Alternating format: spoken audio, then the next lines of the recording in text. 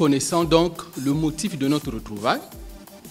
Comme vous le savez, depuis 2022, le district sanitaire de Bakongo est en train de euh, mobiliser, de redynamiser la santé communautaire qui est une politique gouvernementale. Et vous avez été euh, formé sur le paquet minimum d'activités communautaires. Et vous mettez bien en œuvre euh, cette activité. Et aujourd'hui, c'est encore un renforcement des capacités, qui est un gage euh, pour améliorer les compétences en vue de booster les indicateurs en santé communautaire. Donc, le DICIC vous fait confiance parce que vous êtes les vrais acteurs pour mettre en œuvre la politique de santé communautaire telle que dictée par le gouvernement. Et je profite de cette occasion pour remercier l'association qui nous fait honneur aujourd'hui pour le renforcement donc de nos capacités en tant que relais communautaire. Donc, messieurs les associations, vous êtes chez vous et nous vous accueillons à bras ouverts. Vous allez travailler avec nous et nous sommes certains que tout ce que vous allez nous donner sera mis en œuvre pour, comme je viens de dire, améliorer donc les indicateurs en santé communautaire. Et aussi au niveau de relais communautaire, vous savez que quel est le rôle de relais communautaire? Actuellement, c'est pouvoir identifier les éléments, donc en termes de, pathologie, faire les premiers soins et surtout orienter, orienter vers les centres de santé. Et je suis sûr qu'avec les, les enseignements que nous allons recevoir, vous serez une fois de plus à la hauteur de vos missions.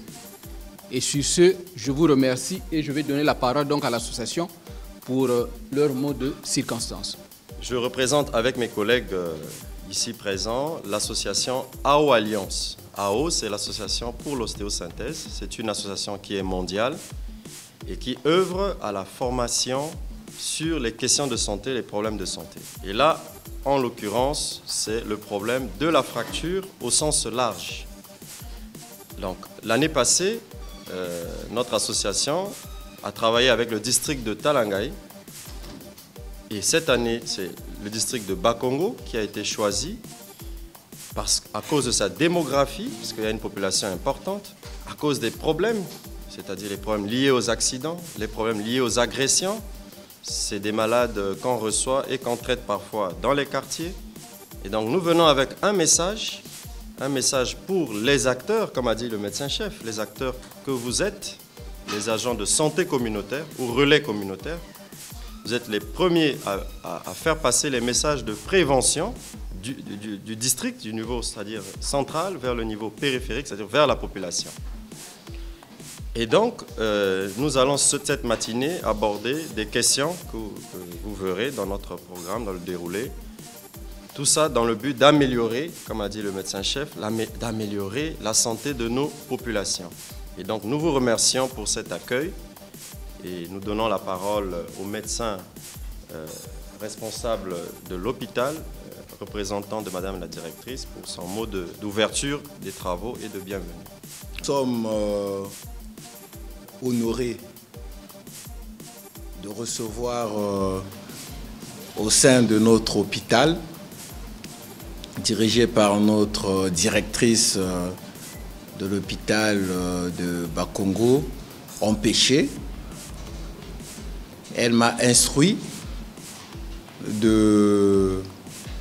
d'accueillir et d'ouvrir les travaux du, séminaire AO Alliance euh, dans le but d'information, éducation et communication sur la problématique de prise en charge des fractures à l'intention des agents de santé communautaires.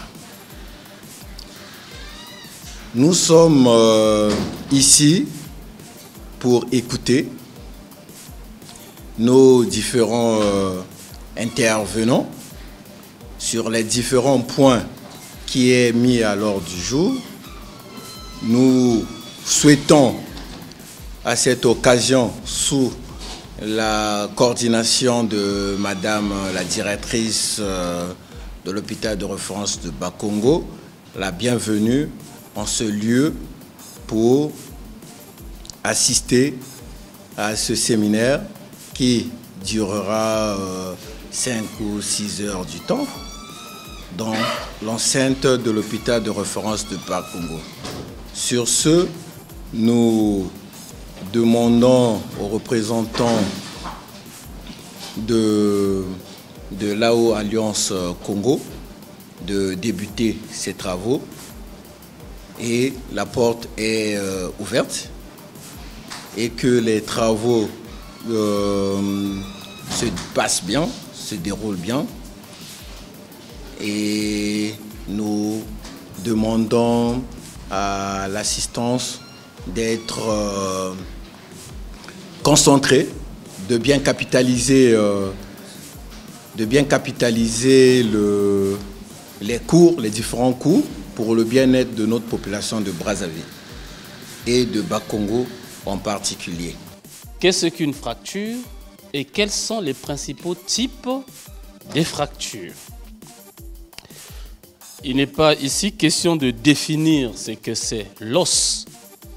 Mais en passant, vous devez savoir que l'os est un tissu du corps humain, est un organe. Euh, autrefois, les gens l'appelaient comme étant substance inerte. C'est comme si qu'il ne vit pas. Non, l'os vit. La preuve, l'os grandit, l'os vieillit. Et ces os ont, ont des rôles. L'os a un rôle. Et comme il y a plusieurs types d'os, voilà pourquoi on parle des os. Donc pour répondre à la première question, à quoi servent les os? Notamment le rôle des os. Il faut retenir principalement qu'il y a trois rôles. Il y a le rôle mécanique, le rôle métabolique et le rôle hémato, excusez-moi, c'est hématopoétique et non héméto, c'est hématopoétique. Mais ce qui compte, c'est le contenu de chaque rôle. Quand on dit rôle mécanique, c'est que l'os, avant tout, c'est la charpente du corps. On parle même du squelette. C'est comme aujourd'hui, on veut construire une maison. Avant de mettre des tôles, on fait la charpente sur laquelle les tôles va se reposer et donner la toiture. Donc tout est os et après les muscles viennent s'adhérer, les organes, ainsi de suite. C'est la charpente solide du corps. Mais aussi, l'os permet de transmettre les forces. Aujourd'hui, si je veux soulever un objet, c'est la main qui tient, mais en réalité, la force va depuis le bras pour que je puisse soulever l'objet. Et donc, s'il n'y avait pas l'os, je ne peux pas. C'est comme quand vous nettoyez la maison, vous avez les balais avec manche, vous voulez enlever les toiles d'araignée qui sont très haut situées, mais à travers la manche, on peut atteindre et enlever. Donc, c'est ce qu'on appelle le bras de levier qui permet de transmettre les forces. L'os est également, ou les os, constituent également la protection des organes, des organes qu'on appelle des organes nobles. Par exemple, le cerveau. Le cerveau est contenu dans une boîte qu'on appelle le crâne. Mais le crâne, c'est l'ensemble des os, c'est l'os. Donc il protège. L'os, au niveau par exemple du thorax, on a des côtes. Ou à l'intérieur des côtes du thorax, nous avons les poumons, nous avons le cœur. Donc l'os joue aussi le rôle de protection. Quand nous tombons, on a des chocs, les poumons ne sont pas touchés parce que l'os a protégé. Ainsi de suite. Le rôle métabolique, c'est quoi? Retenez simplement que l'os, c'est le lieu où se fabrique la majorité du calcium nécessaire pour le fonctionnement de notre organisme. quand on dit dans tel aliment il y a du calcium, oui, mais il y a des aliments que nous consommons et à travers ces aliments, l'os fabrique aussi du calcium nécessaire pour le fonctionnement des muscles, pour le fonctionnement des nerfs, le fonctionnement de pas mal d'organes dans notre corps. Donc c'est l'usine de production. Et au niveau de l'os aussi, c'est là où se trouve l'usine de production du sang, des cellules de sang. Quand un malade présente une anémie, ça veut dire qu'il n'a plus assez de sang. Quand la quantité est trop importante, c'est qu'il manque, on est obligé d'apporter. Mais quand la quantité n'est pas trop importante, on lui donne, vous savez bien, souvent le fer. On donne du fer. Mais c'est pour que, à travers le fer, le corps fabrique lui-même encore les cellules du sang. Mais la fabrication va se faire où? Au niveau de l'os. Donc vous comprenez principalement que l'os joue un rôle. Mais le rôle que nous voyons très souvent, c'est le premier rôle. Si je suis debout, c'est grâce aux os qui me permettent de mettre debout. Si je marche, c'est pas seulement grâce aux os, mais aussi les os qui participent dans la marche. Ainsi de suite. Donc, à la deuxième question, qu'est-ce qu'une fracture? Alors, simplement, vous devez savoir que, puisque l'os est un organe, comme les autres organes, peuvent tomber malades. Et parmi les maladies de l'os, il y a une maladie qu'on appelle la fracture. Mais c'est quoi? C'est la cassure de l'os. C'est-à-dire que quand un os se casse, si j'avais un petit euh, un bois, même les bois de chauffe, ça nous arrive à casser les bois de chauffe pour pouvoir mettre au niveau du feu. Mais quand nous avons cassé le bois qui était correct, ou bien on a abattu un arbre, on va dire que si c'est l'os, on va dire que c'est une fracture. Donc ce n'est pas un mot savant. Retenez simplement que la cassure de l'os, c'est la fracture. Je vous ai illustré deux images. Ici, nous avons une radiographie. Tout le monde sait ce que c'est une radio. Même les mamans euh, dans les maisons savent. Vous avez des relais communautaires dont vous connaissez encore mieux. Et sous cette radiographie, vous avez, c'est une portion au niveau du poignet. Ça, c'est la main vous avez les deux os qui sont intacts. Là, il n'y a pas de problème. Mais quand je vois sous cette radiographie, je vois que c'est déformé et c'est comme s'il y a un souci. C'est vrai, il y a la cassure. Et donc, si vous venez à l'hôpital, le médecin, l'infirmier va dire c'est une fracture. C'est comme ici, ça c'est au niveau de la jambe, le tibia, le péroné sont intacts. Mais à côté, cette radio, on voit que le tibia ici est cassé. Le péroné aussi ici est cassé. Bon, ça c'est juste une image illustrative, mais la radio est là. Donc c'est pour donner juste une idée de la fracture. Et dernière question, quels sont les types de fractures? Alors, pour cette question, il faut savoir que il y a plusieurs types de fractures. Selon le contexte où on va se situer, on va dire c'est tel type de fracture, c'est tel type de fracture. Mais j'ai pris juste trois concepts. Le premier concept, c'est l'état de l'os.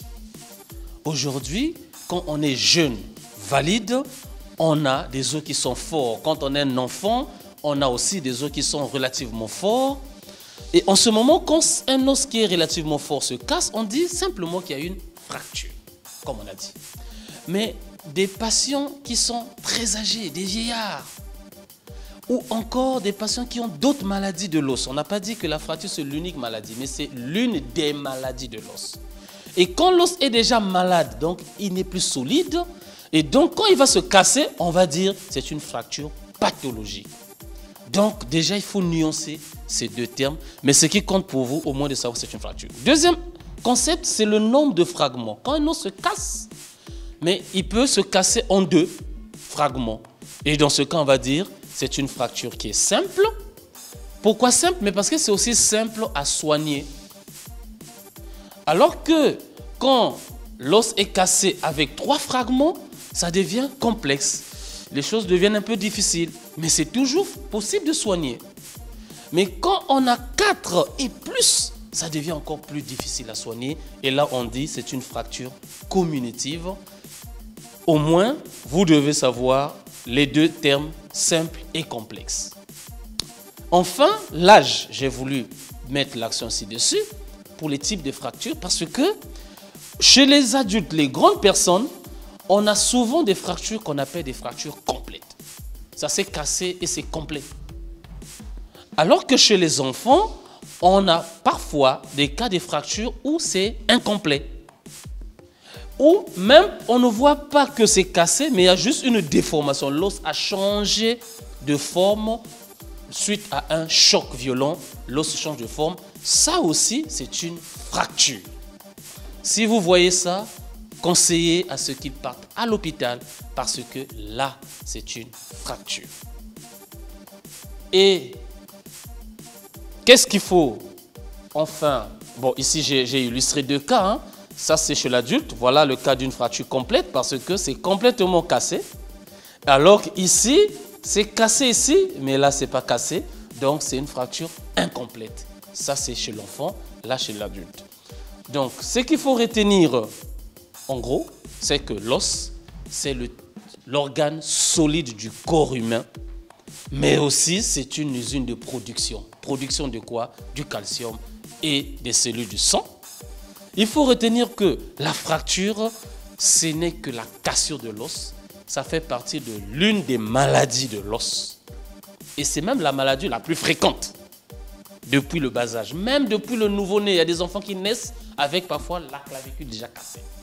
Enfin, les fractures sont aussi pas les mêmes si on a on est en face d'un enfant que si on est en face d'un adulte.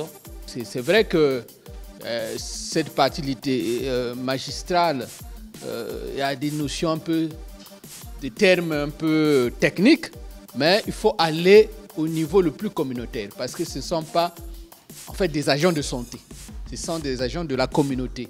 Donc il faut aller avec des expressions plus simples qui peuvent leur permettre de mieux comprendre les, choses. Voilà. Bon, donc le relais, vous avez euh, vu comment on a essayé un peu de développer la notion de fracture. Et vous avez compris que quand on parle de, de fracture, c'est cassure de l'os. Ça, je crois que tout le monde a compris comme ça. Voilà. Bon, on vous a montré les différentes formes de cassure de l'os. Est-ce que par rapport à cette présentation, vous n'avez pas de petits soucis pour que les, les, sachants sont là, ils vous expliquent. Hein? Là, le, médecin vous a montré les, clichés. Est-ce que vous, au niveau communautaire, vous aurez droit aux clichés?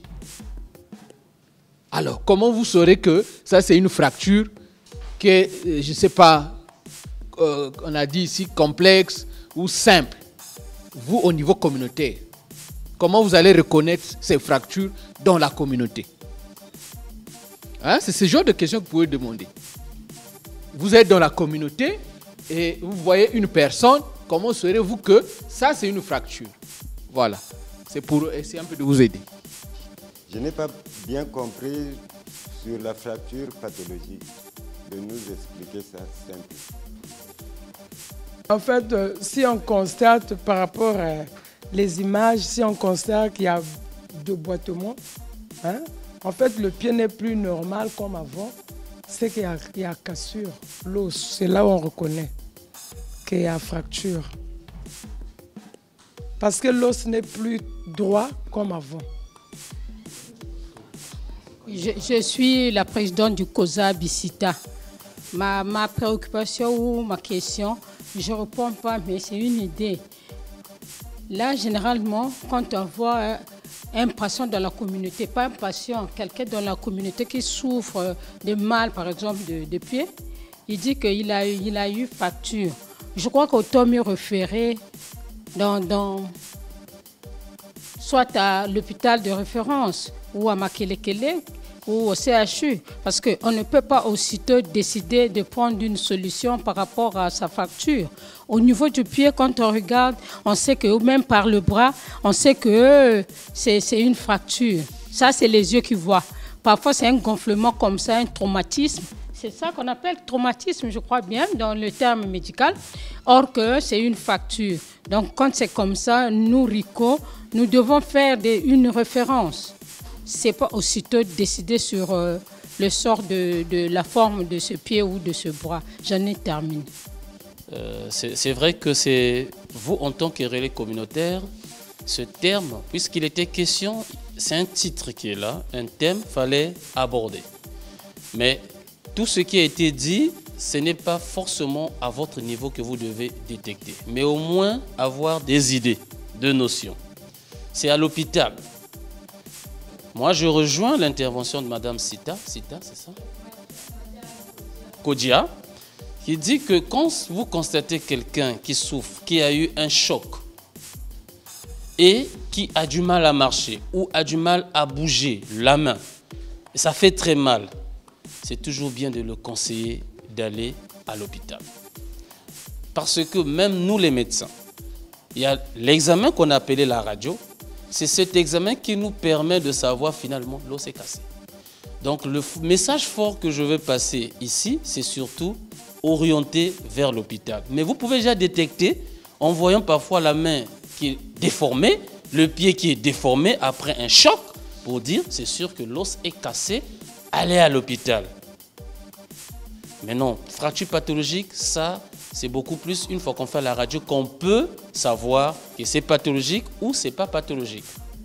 Merci beaucoup. Je me permets de continuer la modération à la place euh, du président de notre association d'orthosynthèse et d'inviter le docteur Ngelongo pour sa présentation. Voilà. Tout en sachant que nous avons eu une petite entorse à notre programme par rapport au temps. Docteur Ngelongo, vous avez 10 minutes, merci. Merci pour la parole accordée. Nous allons parler euh, ce matin euh, d'une question. En sortant d'ici, nous, en tant qu'agents communautaires, nous devons euh, savoir que qu'est-ce qu'une fracture? C'est un os cassé. C'est comme illustré sur, excusez-moi, c'est comme illustré sur l'image, un os cassé. C'est un os simple au niveau de la jambe.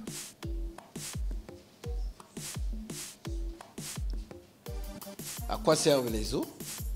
Notre euh, maître venait de, nous dire hein, que les os forment, et, euh, forment la charpente, la charpente du corps. C'est grâce à cet os-là que nous sommes debout.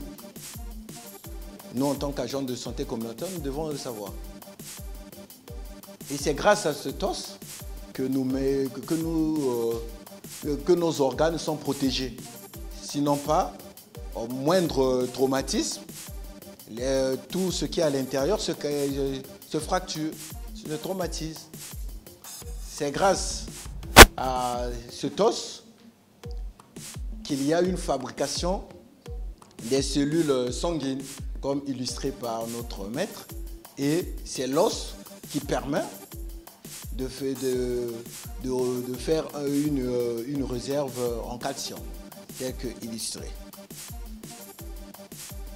Comment reconnaître euh, cette euh, fracture qui est, un os cassé.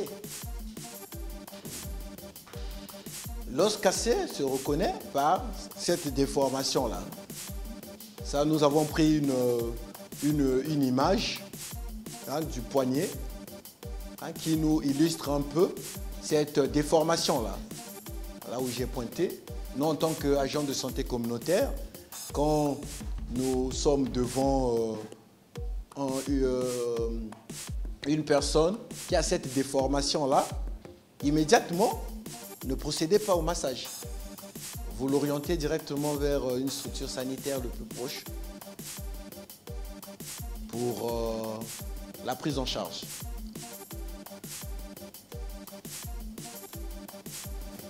Comme illustré, euh, hein, un os cassé aussi peut, se, peut être révélé par une plaie une déformation, comme illustré sur euh, cette image-là. Immédiatement, vous l'orientez vers une structure sanitaire, mais en, nettoyant un peu là. Hein. Parce qu'il faut, euh, en tant qu'agent de santé communautaire, n'étant pas médecin, au lieu de l'accident, nous faisons secours. Hein, on ferme un peu l'orifice là où l'os là. Il faut toujours protéger l'os. Quand vous êtes devant un cas d'une plaie avec mise à nu de l'os comme ça, il faut protéger l'os. Comme c'est un organe, tout organe doit être protégé.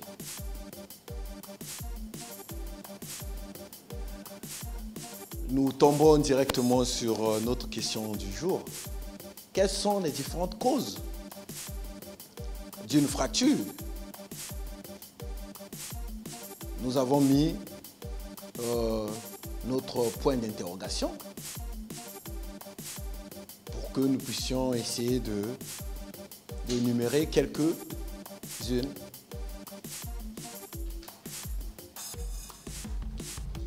Il y a plusieurs euh, types de, de causes, parmi lesquelles les accidents de, la route. Les accidents de la route euh, s'est accentué ces dernières années du fait de, des, taxis-motos qui euh, deviennent de plus en plus euh, nombreux du nord au sud, de l'est à l'ouest. Et ce sont des moyens que les gens utilisent le plus rapide pour gagner du temps et tout. Mais ce sont eux qui se retrouvent dans nos communautés.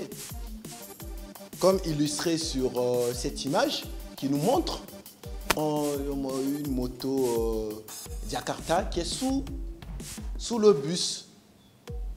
Nous, en tant qu'agents de santé communautaire, nous devons euh, interpeller nos populations, de, nos, euh, nos populations euh, euh, qui sont avec nous dans chaque quartier pour que, soit, ils, ils utilisent des mesures un peu de protection, avoir son casque, avoir des, des, des pro- des- des protections au niveau des genoux et tout, et diminuer, diminuer un peu leur, leur vitesse.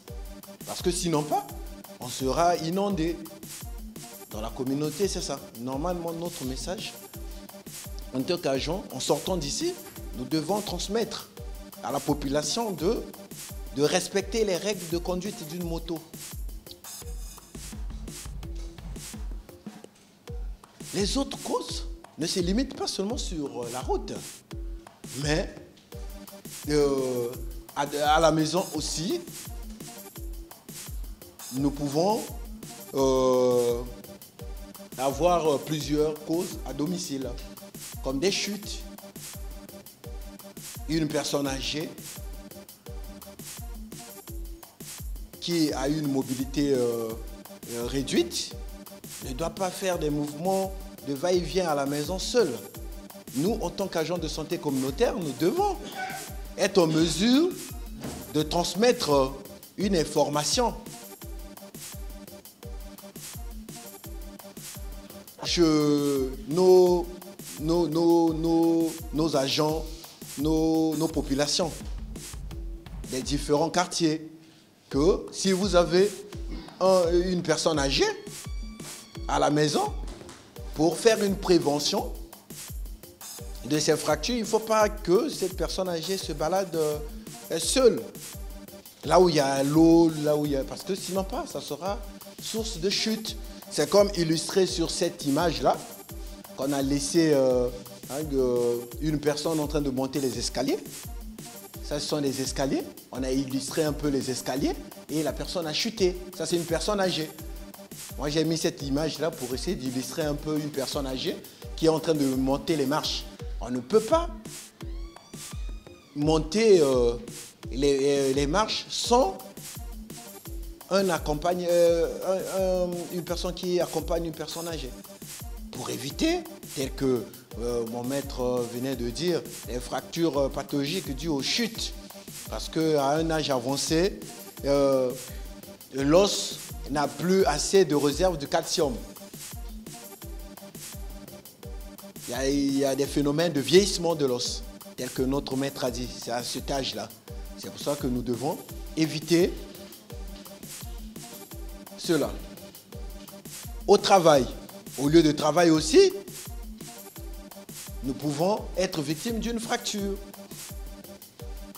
L'os peut se casser au travail en faisant une fausse manœuvre au travail. Souvent, ce sont des gens qui travaillent soit dans les usines de bois, parce que dans nos quartiers, nous sommes confrontés aussi à cela. Il y a des, y a des machines à foufou, il y a, y a- beaucoup de choses. Il y a des machines à foufou, les machines à bois, il y a des, des maçons, des briquetiers, tout ça là, c'est le, travail. Tous les agents de euh, toute population qui travaillent euh, euh, à l'aide des mains, les métiers manuels, peuvent être victimes d'une fracture. Nous, en tant qu'agents de santé communautaire, nous devons faire l'information, donner les informations pour le changement de comportement de nos communautés en leur apportant le message. C'est pas à leur euh, arrêter le, travail qu'ils font, mais à leur apportant le- le message de prévention. Prévenir les fractures. Le but de notre rencontre, c'est ça, au lieu de travail. À l'école aussi. C'est parmi les différentes causes euh, là, euh, des fractures. À l'école, c'est beaucoup plus nos, enfants. Nos enfants. Nous, les parents euh, des, enfants à l'école, pendant l'éducation physique et sportive et tout, nos enfants, souvent, ils sont surveillants. Ils ne respectent pas, ils sont là en train de, de courir dans tous les sens dans la cour de l'école. Nous, en tant qu'agents de santé communautaire, nous devons transmettre cette information, passer dans les écoles aussi. Vous devez passer dans les écoles pour transmettre l'information que non, pour prévenir une fracture, euh, les enfants ne doivent pas, pendant les récréations, ne doivent pas euh, euh, courir dans tous les sens. Et les surveillants doivent être regardants dans ce sens-là, dans les communautés, pour éviter que euh, les fractures euh, s'accentuent dans notre euh, communauté.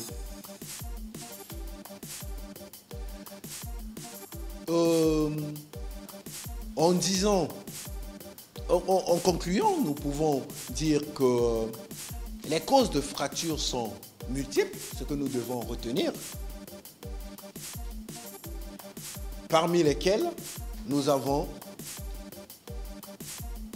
les accidents de voie publique,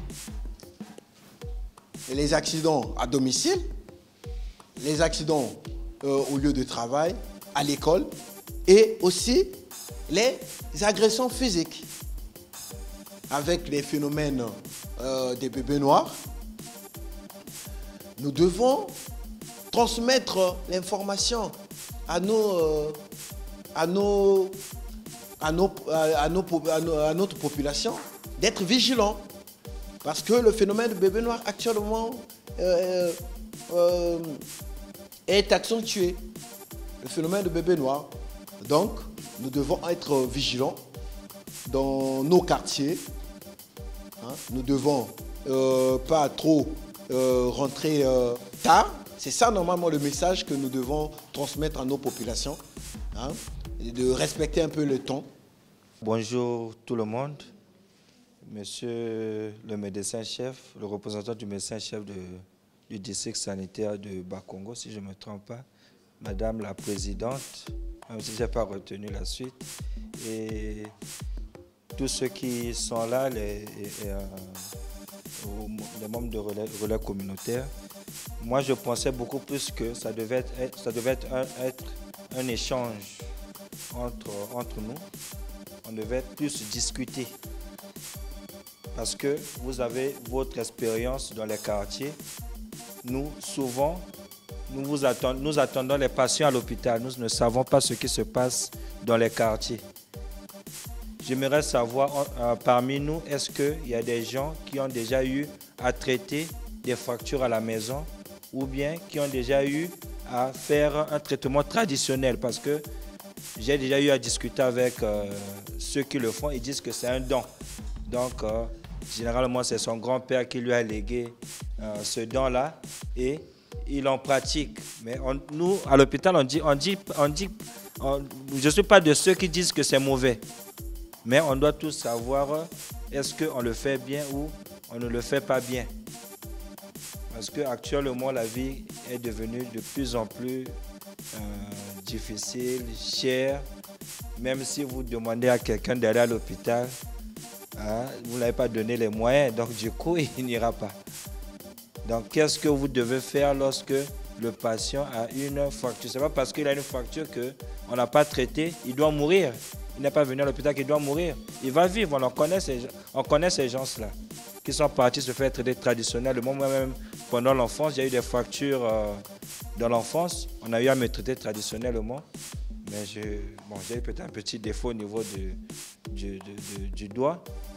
Mais au niveau des membres, je n'ai pas eu de problème. Donc ça ne veut pas dire que traiter traditionnellement est une mauvaise chose. Mais on doit savoir est-ce qu'on le fait bien ou pas?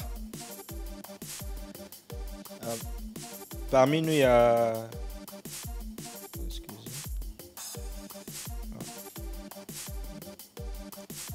Parmi nous, il y a ceux qui ont eu déjà traité. Ma question était ça, traiter les fractures à la maison? Non. Donc, euh, à la fin de cette présentation, j'aimerais que euh, presque tout, le monde qui, est, sont présents puisse, euh, pouvoir suspecter une atteinte osseuse devant, euh, devant tout traumatisme, donc devant un accident ou bien devant une chute. Ils doivent savoir est-ce c'est une fracture ou non et savoir assurer la prise en charge sur les lieux de l'accident ou du traumatisme.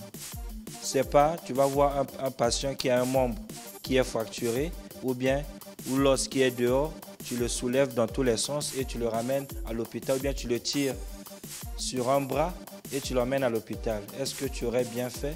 Je pense non. Donc il faut savoir le mettre en condition et l'accompagner à l'hôpital. Ah, Excusez-moi.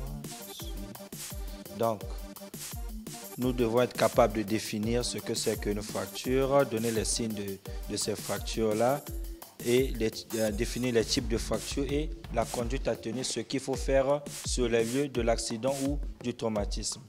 Comme on a su dire, ce sont les mêmes choses qu'on va répéter. La fracture, c'est une cassure, une rupture d'un os. Donc, en un mot, c'est un os cassé. Mais il faut savoir que la fracture est différente d'une luxation. Hein? La luxation, c'est un déboîtement d'une articulation. Une articulation, c'est quoi? Par exemple, le coude est là, il est en train de bouger dans tous les sens. C'est pas parce qu'il est fracturé. C'est parce que c'est deux os qui se rencontrent normalement et qui permettent un mouvement. Donc, c'est pas parce que quelqu'un qui bouge le coude, on va dire que c'est une fracture. Non. La fracture euh, est localisée au niveau d'un os. Par exemple, euh, l'os du bras. Hein, ici, c'est le bras. Comme on a, j'ai donné, j'ai mis une image là-bas de l'humérus. Donc, si au niveau de l'articulation, l'os bouge, euh, comment appelle l'articulation bouge normalement, mais on a soit au-dessus de l'articulation, on trouve qu'il y a une mobilité anormale ou bien une déformation qui n'est pas normale. Là, on peut suspecter déjà une fracture parce que dans le quartier, vous n'avez pas de radio. Ici, nous avons une radio, vous pouvez dire que c'est une fracture, mais dans le quartier, vous n'aurez pas de radio. Mais déjà, avec la déformation et les douleurs, vous pouvez dire que ce monsieur a une fracture. Et ce qu'il faut faire pour l'accompagner chez le médecin ou bien le garder dans des conditions qui ne puissent pas avoir mal. Les fractures incomplètes sont souvent rencontrées chez l'enfant. L'enfant peut avoir mal sur un membre, il a très mal, vous voyez qu'il n'y a pas de déformation, vous dites que l'os n'est pas cassé. Mais si vous l'emmenez à l'hôpital, vous faites la radio, vous allez remarquer effectivement l'os de l'enfant est cassé. Et qu'est-ce qu'il faut faire? Donc la radio à l'hôpital nous permettra de savoir qu'il y a une fracture et le médecin va traiter.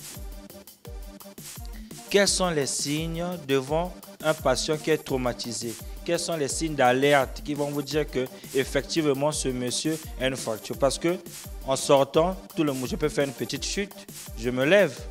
Et ça ne veut pas dire forcément que j'ai une fracture. Imaginez que je fais une petite chute, je n'arrive pas à me lever, j'ai une douleur violente. On dit une douleur esquisse, c'est-à-dire tu touches la partie de cette partie de l'os, tu sens que je sursaute, je crie parce que j'ai très mal. Vous remarquez que le membre commence à prendre du volume.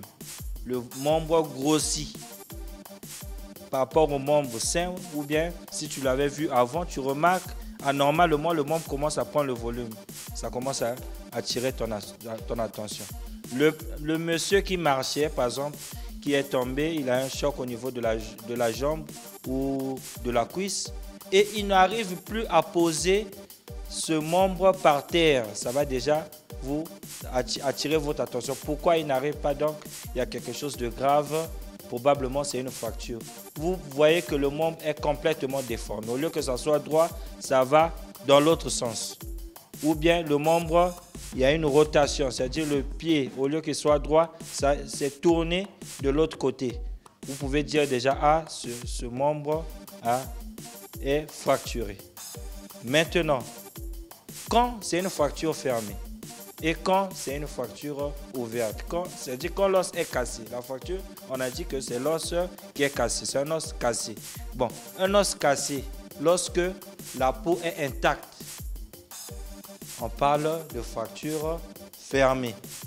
Lorsqu'il y a une plaie, on parle de fracture ouverte. Il y a une nuance, je ne vais pas rentrer dans les détails. Quand on parle de fracture ouverte, ça veut forcément dire que la plaie doit, euh, être en contact avec euh, l'os qui est cassé. Mais pour vous déjà, quand vous avez une fracture et une plaie, de grâce, pensez déjà à une fracture ouverte, ne l'emmenez pas à l'hôpital comme ça. C'est-à-dire chercher à protéger cette plaie, que pas d'autres éléments puissent rentrer euh, dans la plaie et infecter l'os. Parce que lorsqu'on l'os infecte, ça devient encore de plus en plus compliqué à traiter. Maintenant, vous savez déjà ce que c'est qu'une fracture. Vous êtes en face d'un patient qui est fracturé. Vous avez dit à votre entourage, non, il a une fracture, son os est cassé. Qu'est-ce qu'il faut faire? Bon, on le tire, on l'emmène à l'hôpital. Est-ce que c'est comme ça qu'on doit faire? Je pense non. On doit le mettre en condition avant de l'emmener à l'hôpital ou bien avant d'appeler un service habilité. Donc, vous n'allez pas assister à un patient qui est fracturé, surtout si c'est une fracture ouverte. Donc, interdire déjà au patient de ne plus faire des mouvements. Vous le mettez dans une position, vous dites non, restez calme, vous le sécurisez. Vous lui expliquez probablement ce qu'il a. Et vous dites aux patients, euh, et vous demandez aux autres d'éviter les manipulations sur le membre que vous suspectez fracturé. Pourquoi on vous demande d'éviter les mobilisations? Pourquoi? Il y a des artères, il y a des euh, nerfs qui sont, tout qui sont à côté du nerf qui peuvent être lésés si vous bougez ce membre-là dans tous les sens. Donc, euh, il faut garder le membre dans une position comme on dit, anatomique. Comme vous l'avez trouvé, vous le laissez là comme ça. Vous ne cherchez pas à tirer, vous ne cherchez pas à faire ceci. Vous mettez ce membre en position sans chercher à le mobiliser. Vous ne prenez pas le patient systématiquement, vous le mettez dans, un, dans une moto, non, on l'emmène à l'hôpital, ou bien dans euh, dans un tricycle, non, on l'emmène à l'hôpital, ou bien dans une brouette, bon, on l'emmène à l'hôpital et le membre est en train de pendre. Non. Il faut d'abord euh, emballer cette plaie, y a une plaie, bien sûr. Il faut immobiliser le membre qui est fracturé. Immobiliser, c'est quoi? Immobiliser, c'est fixer le membre que ça ne puisse pas bouger dans tous les sens. Généralement, vous allez voir dans les images, à l'hôpital, on met le plâtre. Mais vous, n'aurez pas le plâtre. Mais vous aurez, par exemple, il est au front. il y a, euh, les amis ont compris qu'il s'est fracturé. Ils ont pris le matériel qui était tout autour, le bois, pour éviter que ce membre-là puisse bouger. Ils ont mis la telle de fortune. Donc, ce que vous devez avoir en tête, avoir des attelles en fortune, chercher ce que vous pouvez trouver autour de vous, soit des bouts de carton solide, un bout de compte plaqué, un bout de bois qui permettra de mobiliser la zone qui est lésée. Au niveau du membre supérieur, vous prenez soit un habit à côté, vous immobilisez le membre en position anatomique comme euh, vous l'avez vu, ou bien vous avez une écharpe, une dame qui a un foulard quelque part, vous demandez à donner, on va aider l'autre, vous mettez un foulard comme ça, il peut aller à l'hôpital sans problème. Déjà là, vous avez fait l'essentiel. Même s'il dit, je vais aller voir le thérapeute, je vais aller faire ceci, vous avez déjà fait un grand travail. Par contre, si vous le tirez dans tous les sens, vous aggravez encore les choses. Au moment où on pouvait traiter et tout devait rentrer dans l'ordre, vous avez encore aggravé la situation. Il peut aller jusqu'à l'amputation. Amputation, ça veut dire couper la zone. Ah, je vois qui, a répondu. Je pense que vraiment le travail est, bien fait à Bakongo. Je félicite euh, le, euh, comment on appelle, le sanitaire de Bakongo. Donc, on peut dire, qu'est-ce qu'on peut retenir? Une bonne prise en charge initiale de la fracture permet d'éviter les complications. Parmi les complications, il y a même le décès. Parce qu'il ne faut pas oublier que lorsque vous avez une fracture ouverte qui saigne beaucoup, vous n'avez pas euh, stabilisé ce saignement. Vous n'avez pas. Parce que si, par exemple, si vous avez une plaie qui saigne abondamment, qu'est-ce qu'il faut faire? Voilà. Comment faire pour arrêter l'hémorragie?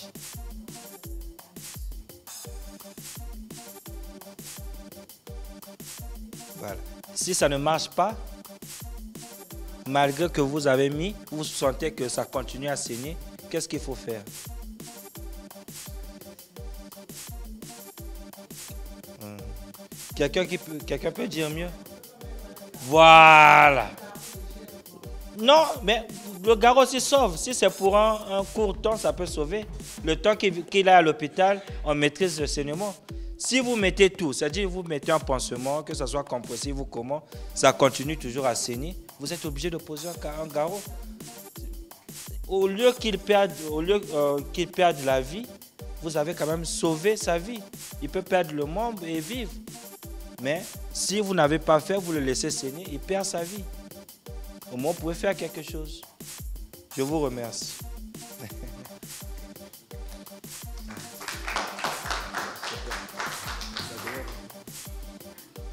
Merci beaucoup. On va continuer. Voilà, on va continuer dans cette section qui nous parle donc de prise en charge. Comme on a dit tout à l'heure, nous avons donc vu, excusez-moi, je prends mon téléphone pour chronométrer. prochain orateur, j'aurai deux questions à discuter avec vous. Le temps que la présentation arrive et que moi-même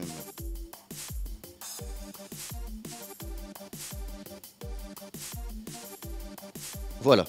Elles ne sont pas numérotées, mais donc j'interviens au nom de monsieur du docteur Ikunga. Deux questions.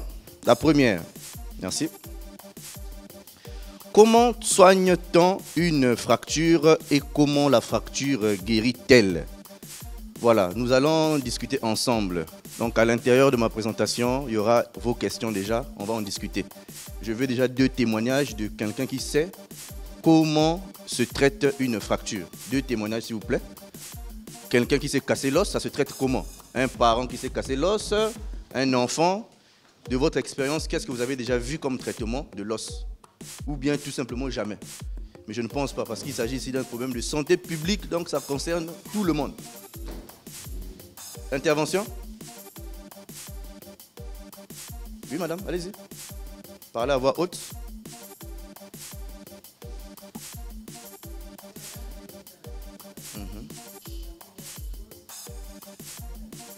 Oui.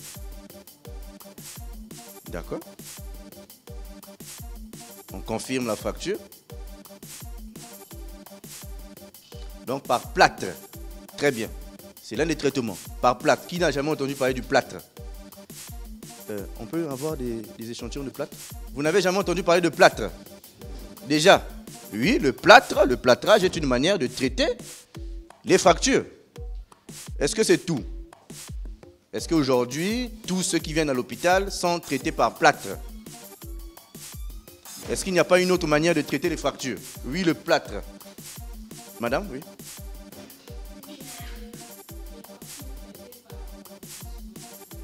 Par pansement alcoolisé. Dans quel cas, essayez de nous préciser Oui. Oui. Exactement. Un pansement alcoolisé. Dans le cas que vous précisez bien, c'est qu'il n'y avait pas de fracture, mais il y avait une atteinte au niveau peut-être des muscles, et vous avez pris ce traitement comme un anti-inflammatoire pour vous calmer la douleur. Mais là, je parle d'os cassé. Un os cassé. Un, on a dit le plâtre. Deuxièmement, qu'est-ce qu'on fait? Nous sommes à l'hôpital. Qu'est-ce qu'on fait ici à l'hôpital? Vous n'avez jamais quelqu'un qui s'est fait euh, prendre en charge autrement que le plâtre. Tous les gens que chez vous, vous croisez, c'est le plâtre en main. Jamais. On met sous. Très bien. C'est une manière de, prendre en charge qu'on appelle les tractions. Hein? Oui. Très bien. Des gens qui viennent, qu'on immobilise, tu te retrouves avec le, le pied cassé, mais c'est tu es sous traction. Quoi d'autre? C'est une très bonne réponse. Comment est-ce qu'on traite? Vous avez bien entendu que lorsque nous sommes présentés ici, et c'est même mentionné là, qui suis-je? Docteur Ikunga. Ah, j'ai avancé ou j'ai éteint Ah, ok. Docteur Ikunga, juste au-dessus de mon nom, qu'est-ce qui est mentionné? Chirurgien. Ah, mais faites-moi plaisir et dites-moi l'une des manières. Monsieur Mais bien sûr Il y a des chirurgiens qui sont là. Ce sont des chirurgiens qui sont venus vous parler de la chose. Forcément, à un moment ou un autre, on opère. Qui n'a jamais eu un parent qu'on a opéré d'une fracture ici là Je pense que tout le monde comme dans la famille. Une opération. Les opérations là consistent en quoi? Il y a des termes qui reviennent. Qu'est-ce qu'on fait? On ouvre le ventre, on met. Qu'est-ce qu'on met? On met des fils à l'intérieur. Quelqu'un a une idée? On met des implants. Ah, vous avez des termes intéressants. On met des implants. Mais quel implant? Les implants. Ah, c'est pas, c'est pas les implants, c'est pas les tiges qu'on ramasse, qu'on met dans le corps. Les fers. Ah, ça commence à venir. Les fers là, c'est les fers qu'on prend à la quincaillerie ou bien c'est le fer qu'on prend où? Mais on met le fer dans le corps. Mais voilà. Donc un petit bout de fer, moi j'opère, je mets. Fer de 6 ou de 8. Donc je vais à la quincaillerie, j'achète le fer. Les fers là, on les met où? Entre les os. Qui a déjà vu ces fers là Vous avez déjà vu ces fers là Ça ressemble à quoi? À des prothèses. Oui D'accord. Oui, monsieur Ça sert à ajuster les os. Exactement. C'est ça le traitement. Mais à quoi ça ressemble? Ben, Aujourd'hui, vous aurez l'occasion de voir à quoi est-ce que ça ressemble, les fers qu'on met. On achète pas ça à la quincaillerie. Hein? C'est pas dans les coins des villes. Je suis complètement d'accord avec ce qui a été dit, si on peut avancer. Ah. Il y a deux types de traitements. Il faut faire simple. Je vous ai parlé de chirurgie. Ça veut dire qu'il y a un traitement qu'on dit traitement sans opération. Et il y a un traitement avec euh, opération. C'est fini. Dans le traitement sans opération, à ma droite là-bas, vous avez quelqu'un qui en a plâtré. Sûrement qu'il avait une fracture un peu plus haute.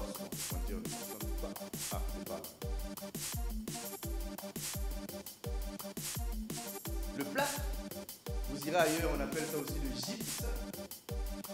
Voilà. On un plâtre, c'est la oui. Ici au niveau de la jambe. La dame l'a mentionné. Moi, je ne l'ai même pas mis dans ma présentation, mais c'est très bien qu'elle vient nous parler de traction. Waouh Mais il y a des certaines personnes qui rentrent dans le service de traumatologie qui est complètement inutile. Si elle avec des lèvres, avec des machines qui les tirent. Oui, certains sont en attente, mais d'autres sont déjà sous traitement. Tu es là pendant une semaine, deux semaines, le pied est complètement tracé pour te traiter. Oui, mais c'est un traitement sans. Hein opération. Un, c'est pas Enfin, nous voulons un autre traitement aussi simple. Traitement avec un. Mais oui, il de travailler le chirurgien. Là, le chirurgien, il vient, on te fait tout ce qu'il faut, programme opératoire, on te fait prendre des poche de sang, prescription de médicaments, prescription bien sûr de l'implant, je suis d'accord avec le terme. Et enfin, on fait la programmation. On s'entend que tel jour, ben, vous allez vous retrouver service de chirurgie, niveau du bloc opératoire, euh, vous serez opéré par tel chirurgien avec telle anesthésie. On vous explique que l'anesthésie sera une anesthésie qui ne sera pas générale. Si c'est le membre inférieur, par exemple, on anesthésie au niveau du dos, les membres sont paralysés. Pendant l'opération, on discute. Voilà que le chirurgien vient intervenir. Qu'est-ce qu'il fait? Il aborde au niveau de l'appareil qui est cassé. Il arrive jusqu'à l'os pour pouvoir installer ces implants-là. Est-ce qu'on a quelques implants qu'on peut montrer déjà Dans la suite, bien sûr, euh, de la discussion, on vous expliquera comment euh, ça se passe, où est-ce qu'on on peut avoir un combien ça coûte. Ce n'est pas le sujet de, de ma présentation pour l'instant. Mais sinon, voilà. Vous avez ces plaques avec des vis. Nous, quand on rentre au bloc, on a des tournevis, on a des marteaux, mais à usage chirurgical. Attention, c'est pas le marteau du menuisier, c'est pas le marteau euh, du soudeur. Mais si tu passes par le bloc opératoire pendant que nous on opère, bon, tu pas d'entendre quin, quin, roum, roum, zzz. C'est- la chirurgie orthopédique et traumatologie. Mais on ne traumatise pas, nous on vient. D'accord Donc voilà les deux manières d'opérer vous devez tout simplement retenir. Euh, pas d'opérer, de traiter un os. Soit la manière sans opération, ou alors avec euh, opération. Très bien. Et dans la manière sans opération, il y a le plat et également les tractions qu'on a mentionnées.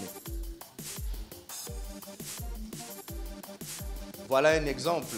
Vous avez ici cette fracture au niveau de la cuisse, visible à la radio. À l'intérieur, on a placé ce qu'on appelle un clou. C'est du matériel d'ostéosynthèse. Voilà. hein.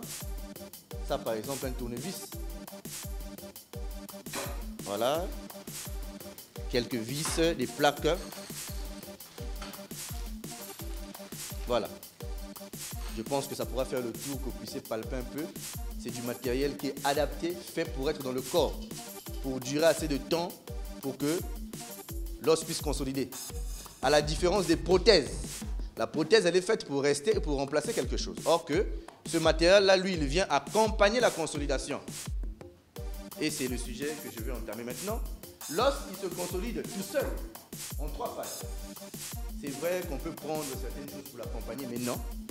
La consolidation osseuse est un phénomène qui est naturel, ne l'oublions pas. L'os se consolide naturellement. L'os se consolide naturellement, mais avec ces implants-là, on fait ce qu'on appelle une stabilisation et une, un réalignement. On réaligne d'abord. Vous voyez que là, ce n'est pas aligné. On réaligne et on stabilise avec ces vis-là par des techniques euh, chirurgicales. Une fois qu'on obtient, on obtient ce résultat, on laisse le temps à l'os de consolider. Important qu'on en discute parce que ici, même si je vous parle des différentes phases de la consolidation, une phase inflammatoire, une phase de prolifération, de remodélage, le plus important c'est de savoir quoi? C'est le temps. Vous avez quelqu'un aujourd'hui à qui on a mis le plâtre, malheureusement, il sort de là, on lui a pas dit, tu as ton plâtre là pendant combien de temps? C'est un problème. À un moment, il va se sentir mieux. Qu'est-ce qu'il va faire? Ah, Bon, moi, je commence déjà à soulever les seaux. Paf Il se recasse. Ah, il n'a pas compris quand on lui parlait de consolidation. La consolidation prend combien de temps? Même chose, l'image que vous avez vue tout à l'heure. Voilà des os. On a mis un, euh, de- un matériel d'ostéosynthèse à l'intérieur. Pour combien de temps la consolidation? Les gens se demandent, mais moi, on m'a mis ça là, on enlève ça quand? Ah Voilà les questions qu'on doit, pouvoir, pouvoir répondre. Selon les différentes parties du corps, l'os ne consolide pas pendant la même durée. Je préfère prendre l'extrême en disant que dans la plupart des cas, en cas de fracture fermée, il y a un maximum qui peut aller jusqu'à 3 mois. Vous vous rendez compte, jusqu'à quelqu'un, on devait le plaque pendant 3 mois. Il commence à vous dire, non, docteur, est-ce qu'on peut discuter un peu? Moi, je... Pourquoi? Mais c'est pas moi, c'est la science, c'est l'association d'orthopédie, c'est des gens qui ont étudié ça pendant 150 ans, 200 ans, et qui ont conclu que l'os consolide avec ce matériel-là après 3 mois. Après 3 mois. Ah, mais docteur, c'est combien de temps? Et là, je vous parle du traitement de la consolidation. Cette consolidation-là, à ce moment, dans les trois mois, vous avez ce qu'on appelle le cal dur. L'os redevient dur, tu peux te remettre debout et marcher. Mais l'os n'a pas fini de cicatriser. Et c'est là la partie la plus douloureuse encore. Tu as dit au malade que toi, c'est trois mois. Il a supporté trois mois. Trois mois après, il vient, docteur, enlève-moi le fer. Tu lui dis non. Le fer là doit rester trois ans. Mais comment ça? Trois ans dans le corps? Mais j'aurai la rouille, le fer là va sortir par derrière. C'est que. Je vous assure, c'est à nous aussi de vous expliquer que non. On doit attendre la, fin de toutes les phases de la consolidation. Trois mois, l'os devient dur, tu peux te remettre à marcher, mais la cicatrisation complète intervient après des années. Voilà pourquoi vous avez quelqu'un qui regarde le fer jusqu'à trois ans. Et après, il revient. On peut retirer. Par contre, pour le plâtre, non, on ne va pas garder le plâtre de quelqu'un pendant trois ans. S'il vous plaît. Trois mois, dans certaines fractures, c'est largement suffisant. Parfois moins.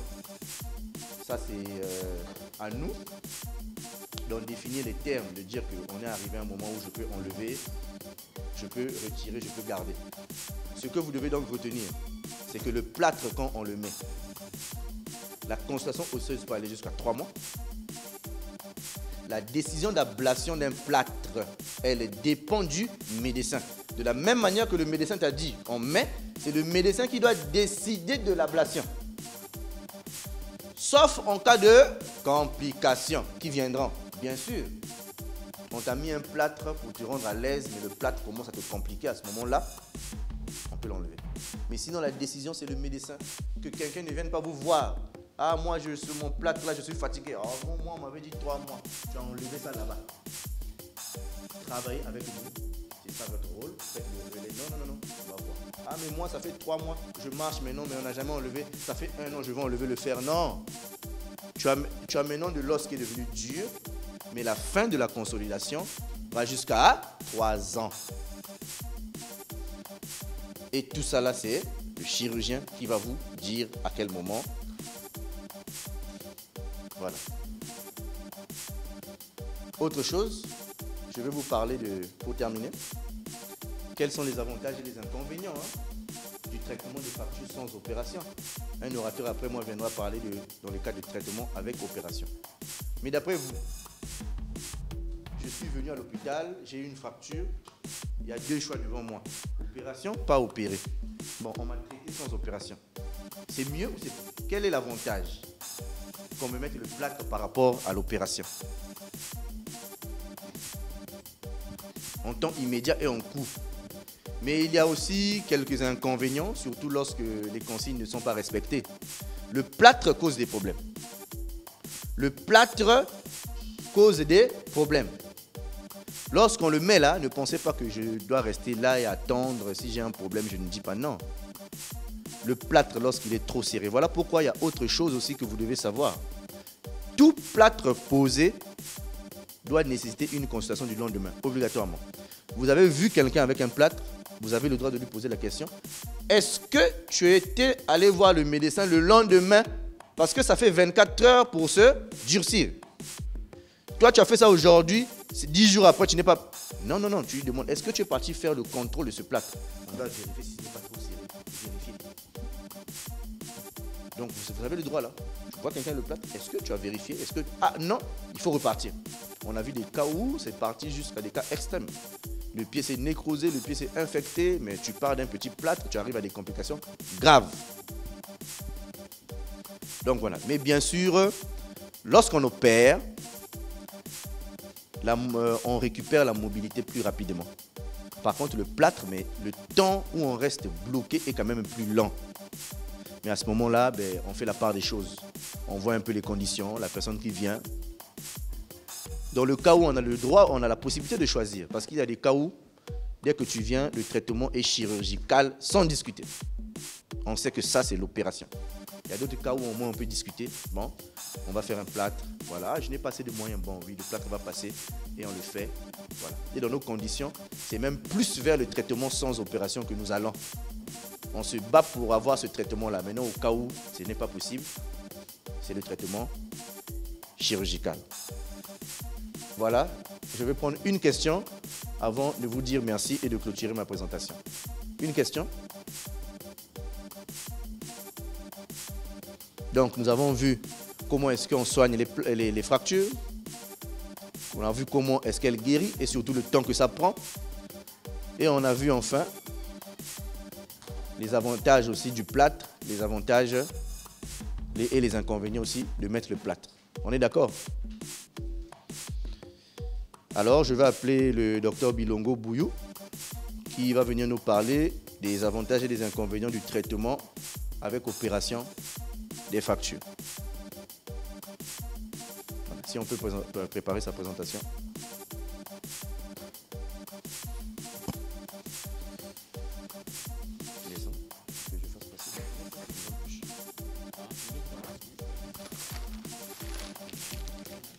Opératoire, ce qu'on voit souvent dans nos quartiers, euh, c'est que les praticiens même font à la maison, tradithérapeutes comme on les appelle, c'est comme dans l'automédication. L'automédication, c'est quoi? C'est aller soi-même à la pharmacie ou au vendeur du coin prendre un médicament pour boire parce qu'on pense que ça peut soigner telle ou telle maladie. Il y a aussi des avantages de ça, mais il y a aussi des inconvénients. Tout à l'heure, on est souvent confronté à cette réalité à l'hôpital. Dès qu'on dit aux malades que vous avez une fracture, on doit vous opérer, là, c'est catastrophique. Parce que le malade voit que les inconvénients,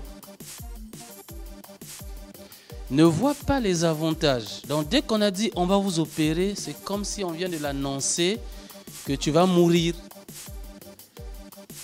Mais si les malades pouvaient voir les avantages, ça sera aussi le travail que vous ferez autrefois.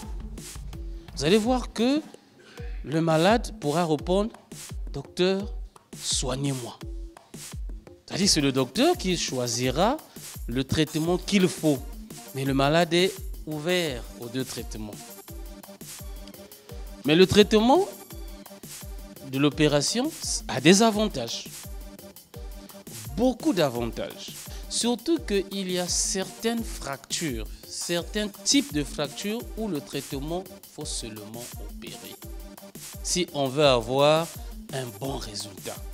Euh, peut-être vous avez constaté dans les quartiers, il y a des gens qui ont été traités par euh, Monsieur Nganga, qui a une bonne réputation, mais quand il a fini, il continue de boiter. Ou bien il a été traité au village, mais quand, après, la main est toujours déformée, si en ce moment-là, maintenant, on vient à l'hôpital. Quand c'est comme ça, parfois, c'est difficile pour nous, les chirurgiens, de traiter. Parce qu'il y a certaines maladies, c'est comme euh, d'autres maladies, comme le cancer, on va dire en général.